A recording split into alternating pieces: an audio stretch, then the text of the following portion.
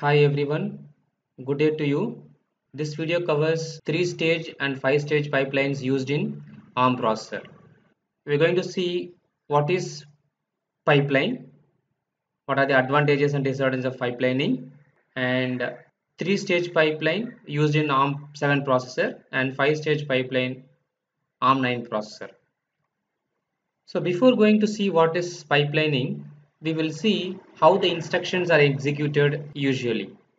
For example, we take this, this instruction, add instruction, which will add the content of contents of two registers. When the processor process this instruction, it will be done in different stages. Okay, in this duration or for, for the first clock cycle, in the first clock cycle, the instruction, the opcode of the instruction is fetched from the memory and in the second clock cycle, the fetched opcode is decoded to understand what we need to do. Like the, after fetching the instruction, in this stage, what we are doing, like what the processor is doing, the processor understands what is to be done to process this instruction. Okay, the processor understands what is the meaning of this instruction. So this is happening in the second stage and in the third stage for example here you see this is this is the execution. So the instruction is fetched here it will take one clock cycle. And the fetched instruction is decoded it will take one clock cycle. And in the third clock cycle the instruction is executed and the result will be right back into the register file. So this is what this is how the instruction is executed in a non-pipelined architecture. Here we are not including the pipeline concept which we are going to discuss in the next slide. So now for executing the add instruction it takes three stages or three clock cycles. This is this example is taken for the simple data processing instruction. Okay, so here we are explaining with the simple instruction. Take another instruction, this RSB, which is reverse subtract okay. So in this case also the opcode corresponding to this reverse subtract instruction is fetched from the memory and it is decoded here and then it is executed. So result will be written back into the register file after it is done. Okay. So you can see here for executing this instruction it takes three clock cycles. For executing this instruction this is the bit clear instruction. Again this will has fetch decode and execute phases and each stage will will take one clock cycle. Or for one clock cycle one stage will be completed. Okay. And for completing this instruction completing the complete execution of this instruction will take three clock cycles. For example again you take this one it will take three clock cycles. So for executing three instructions it takes total of three clock cycles here three clock cycles here and three clock cycles here. Total of nine clock cycles it will take in a non-pipelined architecture. If the processors using this non-pipelined or non-pipelined architecture will take nine clock cycles to execute three instructions, three simple instructions. Okay, and now we are going to see what is pipelined architecture. Okay, what is pipelining? To speed up the execution of a program, the pipeline technique is used. In this pipelining, the fetching, decoding and execution of instructions are done in overlapped manner. Therefore, in pipelining, simultaneous processing of several instructions takes place. Now, we have seen this one corresponds which is corresponding to the non-pipelined architecture. Total of 9 clock cycles to execute these three instructions. Okay, so this is happening in non-pipelined architecture. Now coming to pipelined architecture. What is pipelined architecture? In pipelining, the processing of instructions is overlapped.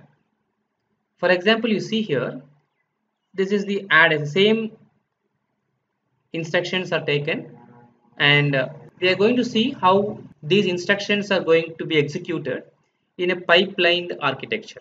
This add instruction the add instruction will take three three clock cycles. This is first clock cycle this is second one and this third one. And each clock cycle in the first clock cycle as you have seen earlier the opcode corresponding to this add instruction is fetched from the memory. And in the second clock cycle the decoding of the instruction is done. And in third clock cycle the execution is done and the result is returned back into the register file. Okay. Now you see when see the, in the first clock cycle the fetching of the first instruction is done. When the second clock cycle comes the add instruction is decoded.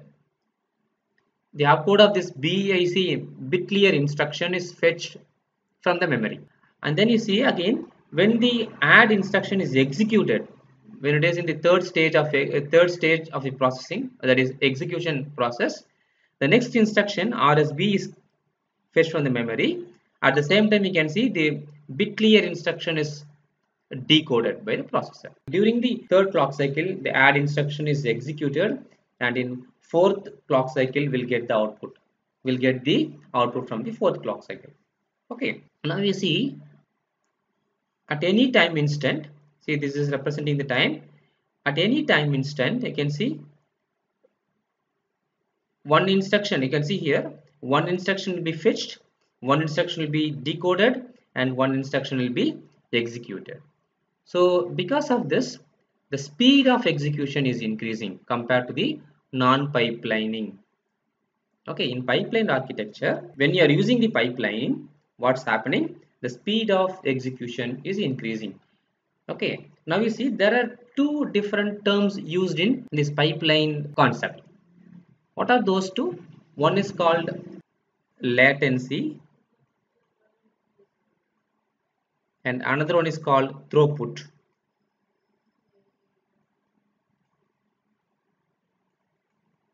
Okay these are the two important terms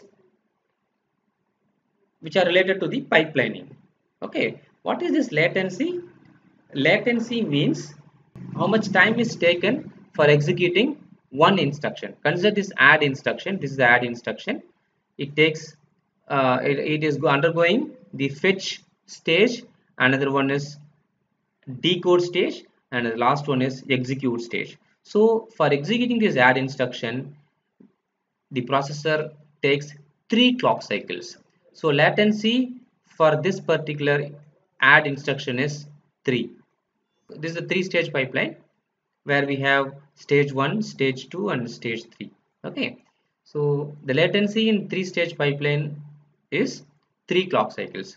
So this is the first clock cycle second clock cycle and third clock cycle. After the third clock cycle we'll get the output.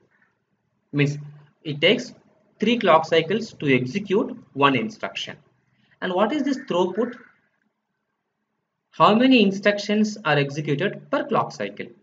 Okay. You leave these first second and third clock cycles here and after this third clock cycle for every clock cycle one instruction is completing its execution right?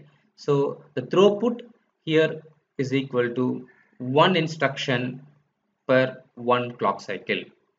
And this is how the instruction is executed in three stage pipelines. What are the three stages? Fetch is first stage decoding the instruction is second stage and uh, executing the instruction is the third stage. Okay in pipelining you can see here when nth instruction is executed the n plus 1th instruction is fetched and thus the processing speed is increased. This so in the three stage pipelining which you have seen in the previous slide at any time three different instructions may occupy each of these stages which we have seen here okay see here this is one this is one and this is one. Okay. And when the process is executing data processing instructions the latency which you have seen now i told you what is latency. Uh, latency is three cycles. The throughput is one instruction per cycle. So the review questions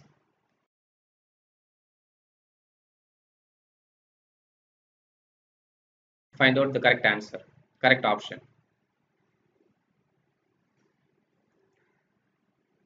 In one of the sessions, we have seen this architecture and we have understood the functions of all these blocks available.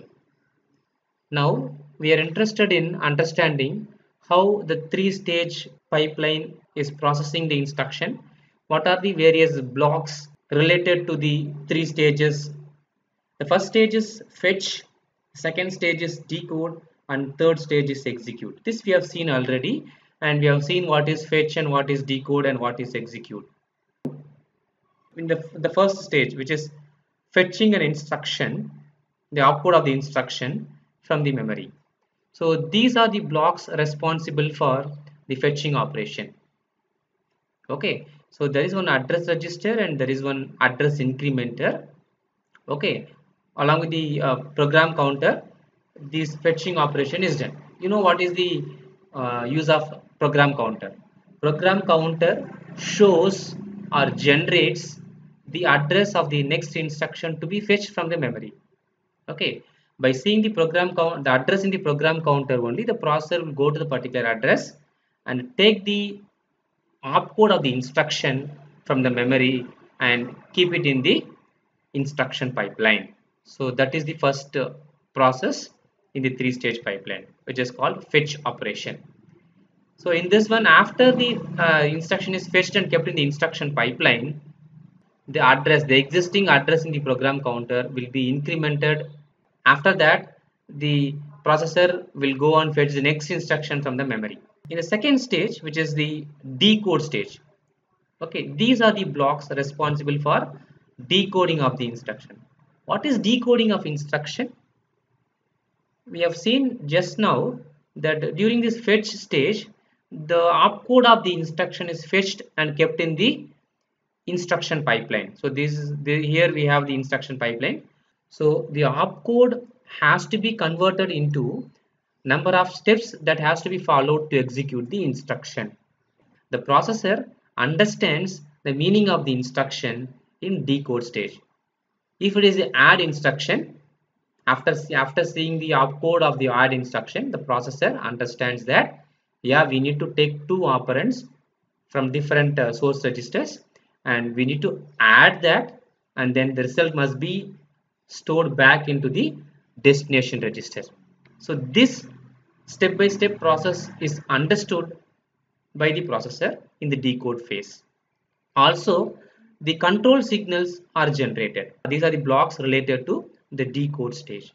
What are the blocks? See this register bank is there.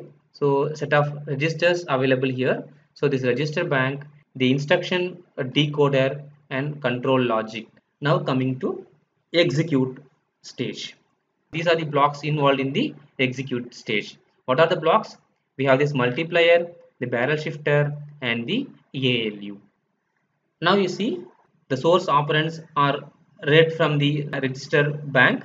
See A bus is getting the first getting the first source operand and uh, the B bus and barrel shifter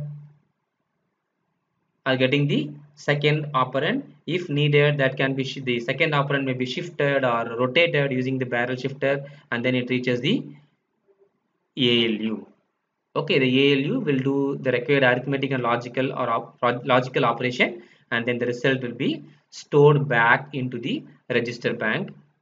Okay in other words we can say it is stored back into the uh, destination register. What are the operations done in this execute phase? Arithmetic or logical operation based on the instruction calculating the branch address and load, load also means uh, storing back the result into the register file or into the uh, respective register destination register. So that is the that is what is done in the execute phase. So we have seen three stages of pipeline. What are the operations done in these three stages? And also what are the blocks those are responsible for these three stages?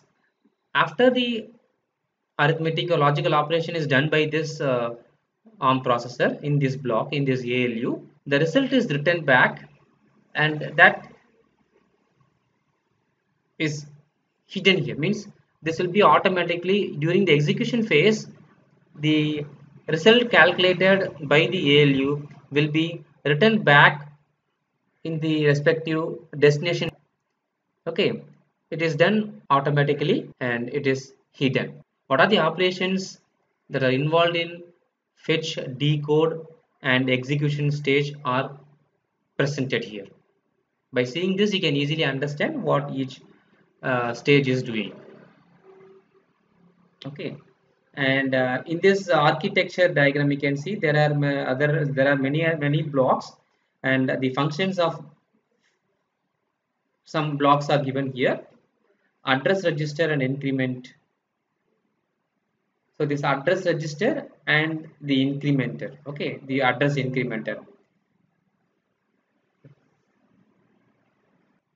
The address register stores the address of the instruction to be fetched. And this address incrementer increments this address. The data register is used as a buffer which holds the data written into the memory or read from the memory.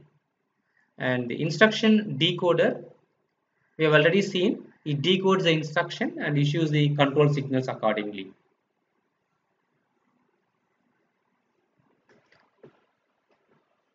the next one is the five stage pipeline the previously seen three stage pipeline is used in ARM7 processor and this five stage pipeline is used in ARM9 processor that we have seen in the introduction session itself. And see this ARM9 as we already known that the ARM9 processor uses Harvard architecture. We know what is Harvard architecture. It has two memories, one for data and one for program instructions, right? And you can notice here there are two memories. One is this instruction cache. This is the uh, memory used to store the instructions or programs and this is an another memory which is used to store the data okay so there are two memories separate memories are available for data and the instruction storage right and um, as you can see here there are five stages. The first stage is fetch. Second stage is decode instruction decode. This is this can also be called as instruction fetch. This is instruction decode.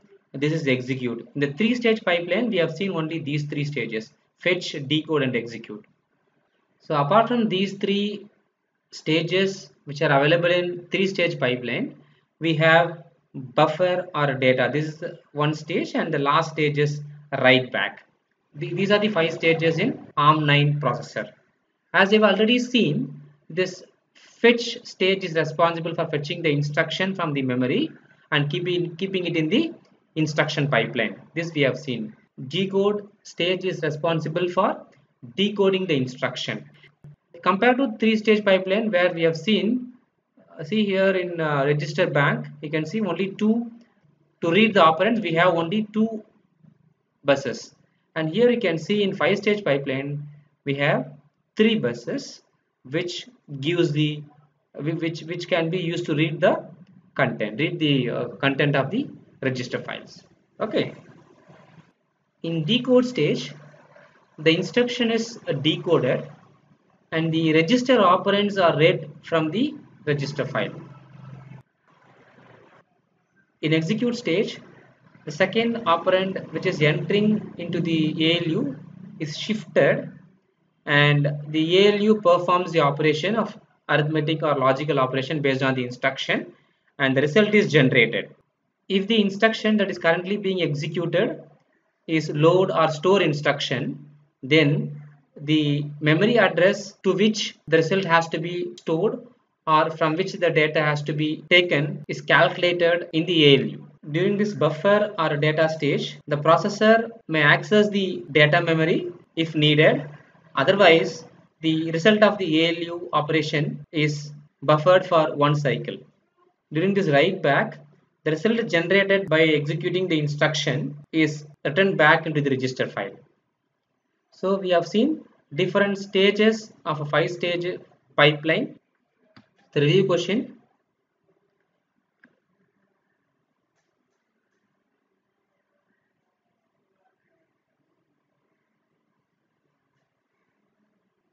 There are options given, find out the correct one.